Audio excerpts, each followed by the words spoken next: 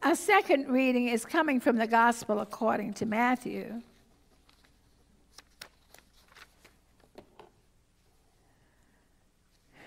And the seventh chapter, verses 21 to 23. And I'm reading from the New Revised Standard Version, Matthew 7 21 to 23, the New Revised Standard Version, and it is recorded there. Not everyone who says to me, Lord, Lord, will enter the kingdom of heaven, but the one who does the work of my Father in heaven. On that day, many will say to me, Lord, Lord, did we not prophesy in your name and cast out demons in your name and do many mighty works in your name? Then I will declare to them, and this is Jesus speaking, I never knew you. Go away from me, you who have behaved lawlessly. The word of God for the people of God. the title of our message this morning is Lawless by Nature. Lawless by nature. Now we know that when we come into the world, as cute as we are, as precious as we are, as adorable as we are, we are designed for self destruction. As cute as we are, we immediately want to have it our way, from the womb to the tomb, if we don't come to know better through our Lord and our Creator. What does the Bible say about lawlessness? to be lawless is to be contrary to the law or to act without regard to the law. Laws are necessary in a sinful world. And those who choose to act lawlessly further sin. The word for lawless in the Bible is often translated as iniquity. According to the Bible, it's the root of all Lawlessness is rebellion, refusing to comply, resisting. John 3 4 defines sin as lawlessness. Everyone who sins breaks the law. In fact, sin is lawlessness. And to commit sin is to be lawless. And somebody's thinking, well, we all sin. We all sin, is what most people are thinking. That's what they're hearing, that we're born sinners. Where there's some people who practice sin. They go to sleep to sin, they wake up to sin, and while they are going about, they sin and they have no remorse. They have no guilt. They have no desire to quit. Now, those who are Christians and who have become believers, They've become new creatures. We are new creatures. And behold, the old us has passed away, and there's a new us. And with the new us, we are not sinners. We may err, but we can't do that without consciously being alerted by the Holy Spirit that lives in us. Now, that's the difference between a sinner and a believer. there's got to be a difference. If everybody's going to be a sinner, then what was the purpose of Jesus' death and resurrection? Don't allow yourself to think that you are a sinner unless that's what you are, meaning you enjoy sinning. And to sin, the word says, is to be lawless. You're not complying with the law of God. Does that make you happy? To resist God, to push Him away, to want no part of Him? And what's the stance that most people take around the world? They fold their arms up tight. That's a posture of defense, resistance. The young do it, the middle aged do it. They're on the covers of magazines. And the men and women do it. It used to be just a man's posture. Now there's a woman posture. But when we sin, that is lawlessness. But we are practicing Christians, so we put our energy into obeying the law of God, pleasing God, walking by faith, doing those things that God would have us to do. And we hate sin. When we become believers, we love what God loves and we hate what God hates. So, as I move on to this, to commit sin is to be lawless. That is, the sinner breaks God's law and enjoys doing it, justifies it. And we can see very clearly every day how the law of God is being broken and disregarded. the biblical historian puts his finger on the reason for, for the things that people do. People riot because they want to be heard. They're, they're not silent, peaceful marches for the most part. That's, that's, that's contrary to the nature of man. Man is mostly always riled up about something. It doesn't take much to ruffle a feather. I mean, someone can pull over in front of you and, and, and you're about to have a tizzy. It's if you expect the interstate to be clear just for you. You expect the, the main street to be clear because you're out there.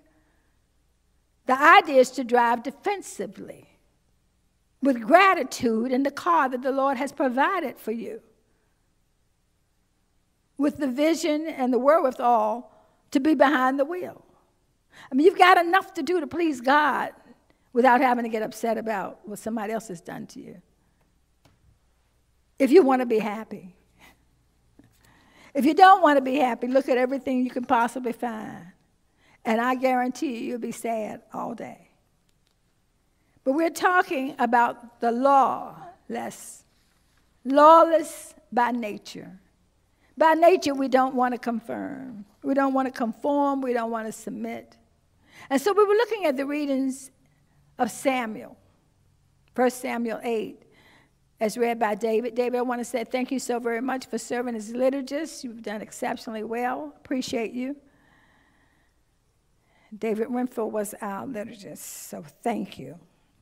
But he read 1 Samuel 8, and in it he is relaying what the prophet Samuel is saying to God's people. And he spoke all the words of the Lord to the people who had asked to have a king. There's, there's a situation going on where Israel no longer wants God to lead them. They no longer want God to be their God and to speak to them through the prophet Samuel. They're just done with that.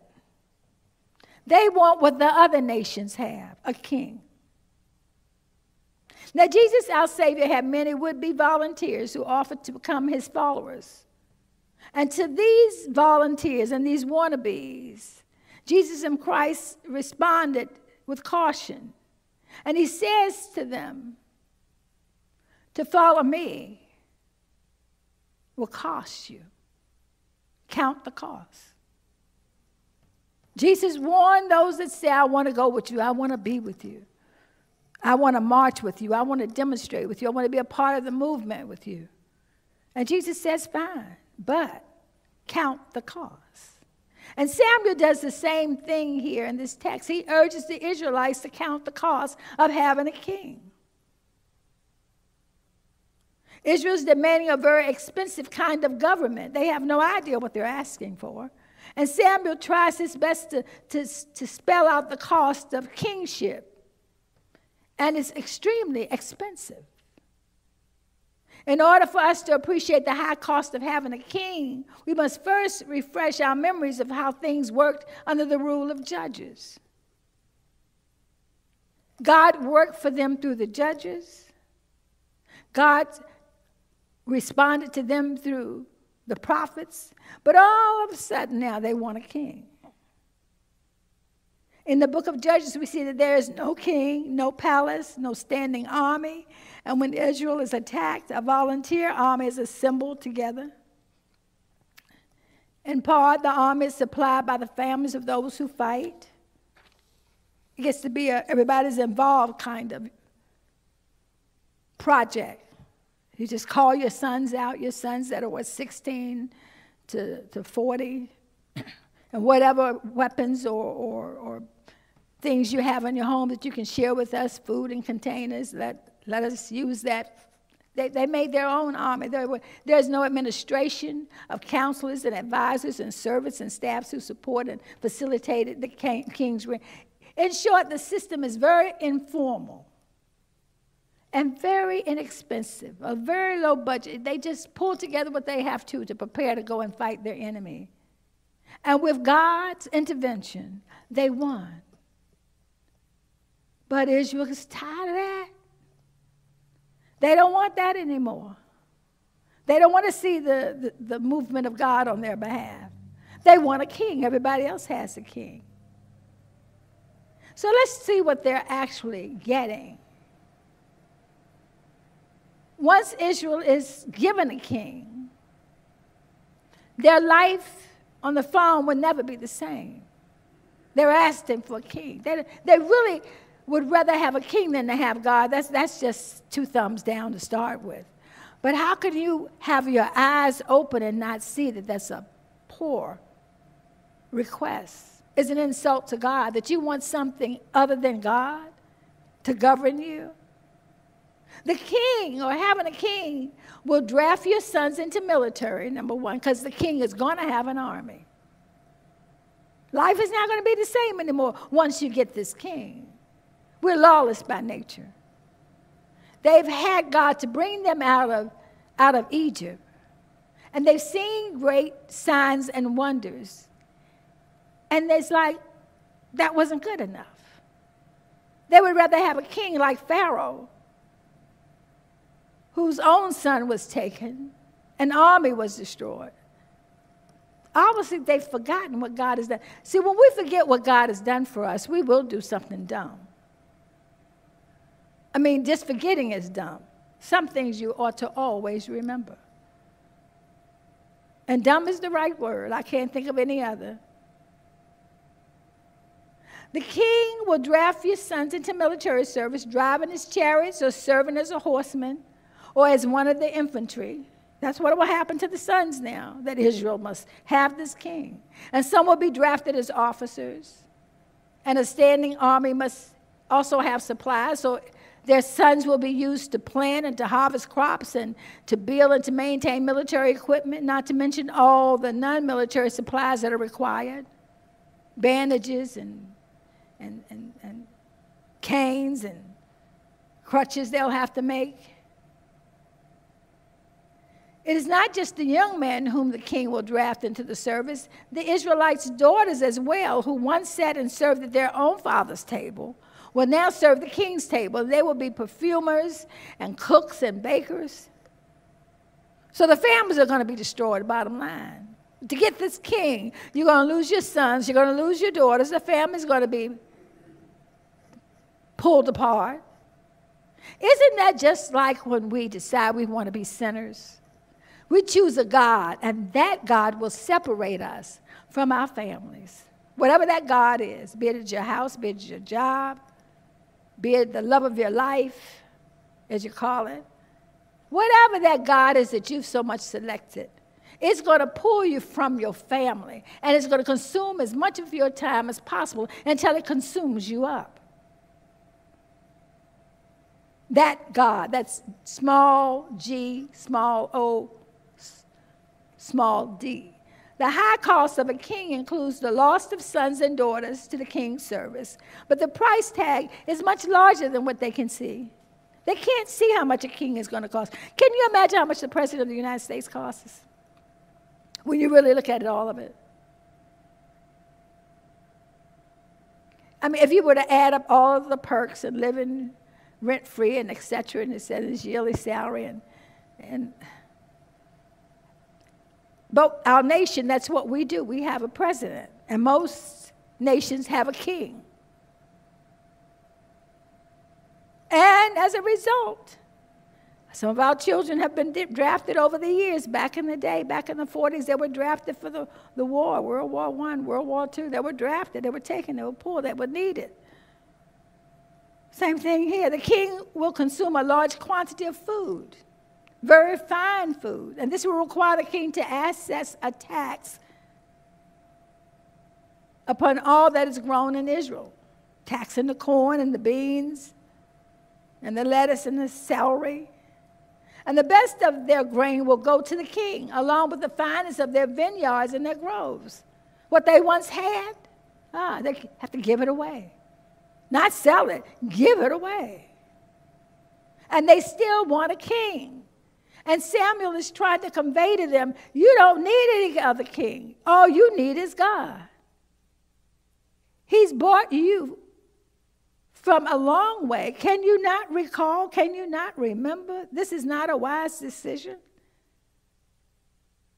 A good portion of the fine things an Israelite's farm family could produce gets to go to the king, the finest of it. The king's servants will need to live also, and the people will pick up the tab for this. So there are more taxes you'll have to pay. More of your money you have to get out of your bank and bring it to the king. The king will need a staff to serve him. And so he would take the best Israel has to offer for male and female servants. They're going to take the best. You have a son that's six feet four and strong. He'll be a bodyguard. He'll be one of the, the, the one of those who will protect the palace. He doesn't get to come home and sit on, under your table and, and, and have your turkey wings. That won't happen unless the king says so. You won't get to hug your beautiful daughter who has a gift in playing piano, for instance, because she has to play for the king.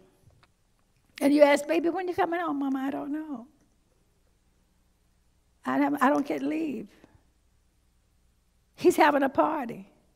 I've got to play. Samuel is saying, You don't want a king. But they're saying, We want a king. We want a king. We want a lawless by nature. Lawless by nature. These people who have known such freedom will now become slaves of the king. And when they when they finally realize what they've gotten themselves into, it will be too late to change the course of history. Too late. And how many times have we, I hope none, but how many times have we refused to do it God's way and just have to do what we want to do for the moment? Did you not have some kind of consequences? Can you recall? The Israelites will someday cry out to God because of the oppression of their king that they've chosen. The day is coming, Samuel's telling them. The day is coming, you are going to cry out because of the oppression and the abuse and the injustices. But God will not be willing to hear your outcry. For you're going into slavery with your eyes wide open. God's not coming to your rescue, is what Samuel's saying, because you're doing, you're deliberately turning your back on God for what you think is better for you. How do you know what's better for you? You didn't make you. God says, I did. So I certainly know what's best for you. Why would you want to go to somebody else who doesn't know you, who doesn't have your best interests at heart? Lawless by nature. And even though Israel is aware, they still desire a king because other nations have one. And they want a king to fight for them. Well, he's going to fight for them. Does God not hear what the people are saying? Of course he hears it. But Samuel goes back and tells him because Samuel needs to talk to someone who understands what's going on and they don't. He has to go to God because God has given him the assignment to declare and to warn his people, to ring the bell to wake them up. And he goes back to God. He says, God, they're not hearing me. They're not listening to me. What should I do? And God once again instructs him to give the people what they demand. There are times when God would just say, okay, if you insist, Mr. Smarty Pants. If you insist on having it your way, so be it. But when you get yourself all tangled up in the web of disappointment, I'm not going to hear you cry. That's what the word says. Some people think God just runs every time we holler. Oh, no, He does not. Sometimes you got to feel the pain because it's like uh, uh, it's like a man who's married and his wife comes and tells him, "I'm leaving you for another man." He's given her everything he has, and he loves her with all his heart, and he's crushed and broken. And he's saying, Please don't go. What more can I do to make you happy? Can we go on a trip? Do you want another diamond? What can I do to make you stay with me?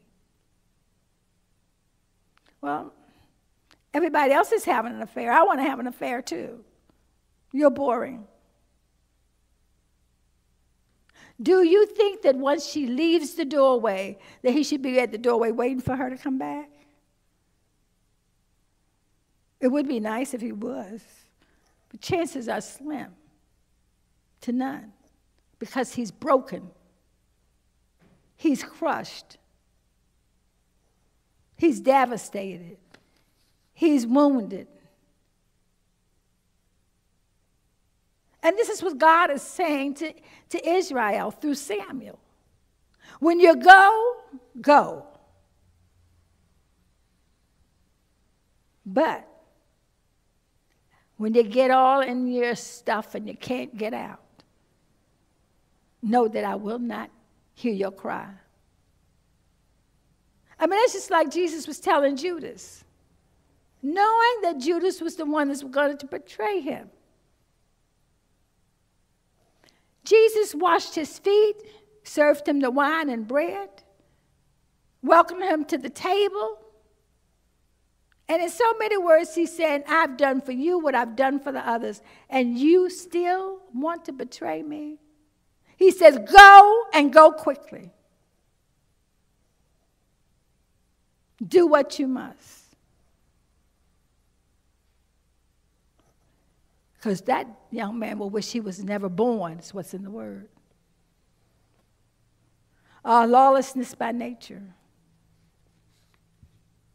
The text is a prophecy, and we can see that it is exactly fulfilled what was expected to take place in the line of history. But some things, this book of the has been written for us to learn from to avoid those things that have happened already. It's to help us to see the way clearly so we won't do it. Why would we want to consider another God? There's no one greater. God said, Beside me, there is no other. And sin is like this. Satan is always seeks to sell us on sin. He makes it look good. He makes it look great. He makes it look like you're the first at it. He gives, he gives a crooked street that's definitely crooked to look straight in your eyes until you get into the midst of the street. Satan always seeks to maximize our estimation of the benefit of sin. He, he gives us to think it's not that big of a deal. In the Garden of Eden, Satan deceived Eve into believing that she could actually become like God, and that by partaking of the forbidden fruit, that she it wouldn't really result in death.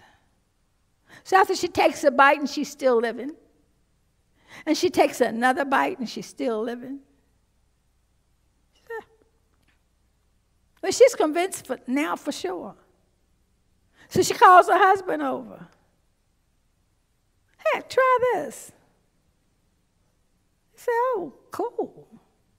Now they knew the rule lawless by nature. They knew the rule. God gave it to them at the beginning. The same rule to both of them stay away from the tree in the center of the garden. You got all these other trees. all this other fruit, all this other opportunity to enjoy the pleasures that I provided for you. Uh uh that wasn't enough. They wanted to rebel, wanted to do their own thing. So here we are, having being born a sinner, having to be drawn to God and take on a new image, a new life. And that's where we are. Lawless by nature. The reality is that sin quickly gains control over us and we become its slaves. That's what happens. I'm going to just do this just for this just this once. People are smoking now that never would have wanted to smoke had they known then what they know now. I'm just going to try this just just once. People that are gambling, had they known then what they know now, that they never would have taken that. I'm just going to invest this money on the table. Sin gains control over us and it uses you until it uses you up. It has no mercy on your soul. Whenever we are tempted and contemplate choosing the path of sin, let us remember what the Bible teaches us about the economics of sin that the wages of sin is death, lawless by nature. So, since we've looked at Samuel and him talking to Israel, and we see that he's gotten nowhere, and God says, Let them have a king, please, by all means. Let them have a king. Give them a king, by all means. But when we bring ourselves into distress by our own wrong desires and projects, we justly, we willingly forfeit the comfort of prayer and the benefit of divine aid. When we deliberately turn our backs on God for another God, we forfeit our opportunities for love and for, for deliverance.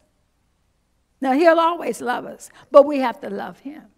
What kind of relationship is it that give all the love and get none? He required us to love Him. He says that's one of His commandments. I'm the Lord thy God. Love me with all your heart, with all your mind, with all your strength. I mean, we forget that part. And I hear so many people saying, God loves me. Of course, He loves you. He's doing His job. We're evident of that. We're breathing, and He's allowed us to wake up another day, etc. But do we love Him? To love Him is to obey Him, to fear Him, and to love our fellow man. The people were stubborn and pressing in their own demands. Sudden determinations and hasty desires make work for long and leisurely repentance. When we make these wrong decisions away from God, whatever that might be, just this once I'm going to do this, or just this once I'm going to try that, you take a risk. And then you have to repent to return into right standings with God. You have, to, you have to do more than say, I'm sorry. You have to repent. Repent means to turn away from, not to do anymore, to hate the act that you performed, and to see the repercussion of it. That's repentance. Sometimes that takes a while. It's more than, I'm sorry, it's more than that. That's why people go to court, because even though they may push you down the stairs accidentally, to stand over you and say, Oh, I'm sorry. I was just trying to get by with my book in my bag and just to walk away. No. That's not good enough. To, to call for help, to stay there with them until help arrives, to go with them to the emergency room and to find out their status, to give them your name, and to show some compassion is the bottom line. How many people do that? Oh, no. What the Bible says about lawlessness God has a purpose for establishing human government to punish those who do wrong and to commend those who do right. That's the game rules. You do right, you're awarded. You do wrong, there's consequences. Rulers are God's appointees to maintain order and promote righteousness in a civil society. Rules are necessary, obviously. You have a toddler, you have to tell that toddler, no, don't. That toddler is going to insist on destroying himself. It's going to stick his finger in the plug. It's going to pull a lamb off the table. You have to teach even a toddler no, don't do that, sweetie. And distract them with something else that's safer. Because we're lawless by nature. We don't want to go by the rules. We're lawless by nature. We don't want to obey until we come into the knowledge of God and see the beauty of a wholesome relationship through obedience and yielding to His word and His will and His way. But until then, we remain lawless by nature, and there are consequences for not going by the law. Our lawless re- deeds results in Christ's death, but God's grace overcomes our lawless hearts. In judgment, many will stand before Christ claiming a connection with Him that, that exists only in their own minds. Because as I read in the second reading there in Matthew, it says, Many will be calling, Lord, Lord. And He said, I don't know you. But in the mind of those who think that they're with God and they're going to do whatever they want and they're breaking the, the laws, they will rehearse their good deeds done in His name only to hear Jesus declare them to be workers of lawlessness, workers of sin. Many people come to church and they say they're, they're Christians. They say it with their lips, but it's not in their heart. They come under the image of Christianity, and many don't even say it through their lips. I don't hear many confessions that I love the Lord. I don't hear many confessions that I, I'm, I'm once was lost, but now I'm found, was blind, but now I see. I don't hear that. I don't know about you, maybe you do. But for the most part, I hear my head hurt, my knee hurt.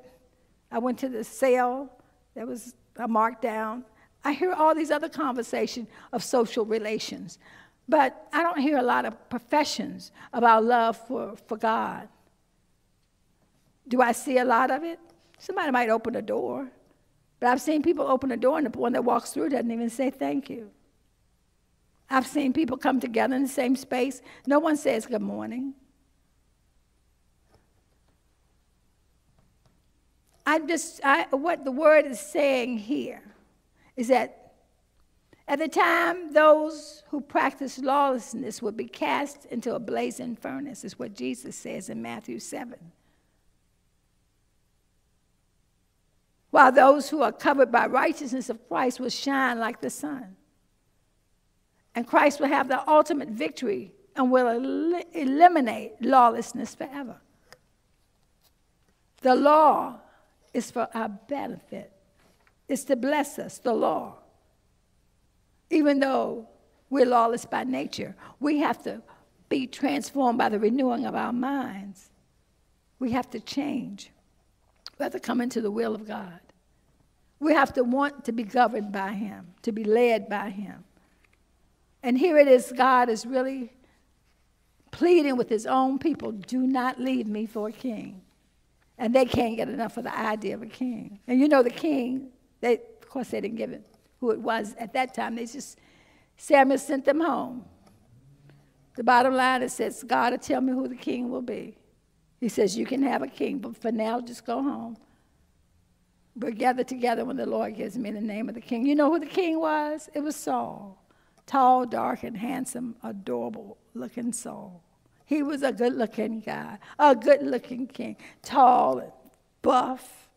He was everything you want if you wanted a king. Couldn't have gotten a better looking one. But he was, he was like a,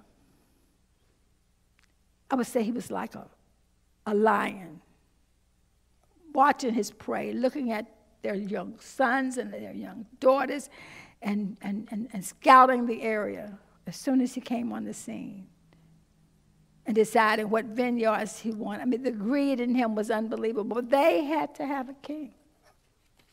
And we know the story of Saul and the suffering of God's people under his leadership.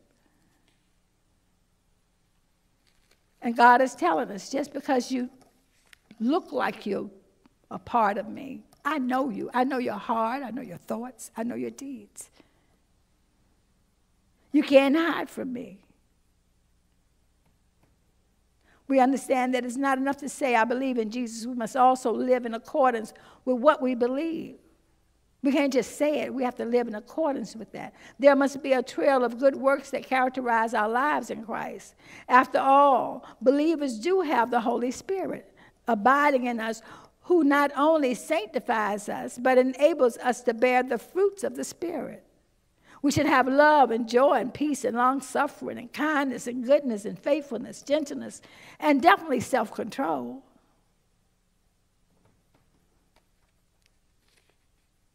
I mean, that's what the Holy Spirit does inside of us. And even though you can do wrong if you choose to do wrong, but you're not going to be happy with yourself until you come to grips and say, Lord, I shouldn't have done that. I shouldn't have said that. And some things you have to grab yourself that you think that you don't have no business thinking. Oh, yeah, I, have, I have to chastise myself. And I'm pretty hard on me, I think. I have to make me do right. Just like we have to make ourselves get up and go to a doctor's appointment, you want to lay there, and it's raining outside, it's cold. But you, you will that body to get up and go to that doctor's appointment. And if you can will your body to do that, you can will your body to do right. You can will that mind to do right. When you get to that doctor's office and he tells you uh, how to breathe, you concentrate because you want everything to, the report to be a good report. He says, take a deep breath. That's silence for a minute. It's hard for some people, but they do it. They say, hold it. I'll tell you when to release it. Do a good job at that exam because you want a good report. We can do what we want to do, it's the bottom line. But we can be reminded that we're lawless by nature, but in Christ we can do all things. With Him, with God, we are the majority. So we need not worry about being just one or being small in numbers. The most important thing is that you could be in a church filled with lots of people, a mega church, and you can rest assured in a mega church, how many really know God? That is a network center. People bring their business cards and exchange cards and save them a lot of a lot of driving back and forth. Hey, I can fix your car. Oh, I can sell you a house. Oh, I can do your interior decorating. Oh, here, take my card. I can style your hair. And this goes on, shifting, carrying on. It, you can't help it. Mega church, thousands of people, three and four services on a given day. A lot of business operations go on on the table and under the table. Can't help it, lots of people. And everybody in there doesn't love the Lord. They like the atmosphere, they like the reputation that comes with it, they like the opportunities for success that are there. But I would rather be with a small number who are striving for the kingdom of God any day. That's like making that choice between Israel and a king or Israel and God. I would rather be Israel and God any day. This is the word of God for the people of God. Thank you for your listening ear. I pray that something has been said that will make a complete difference in the rest of your life. I hope we're the better for having come to worship today.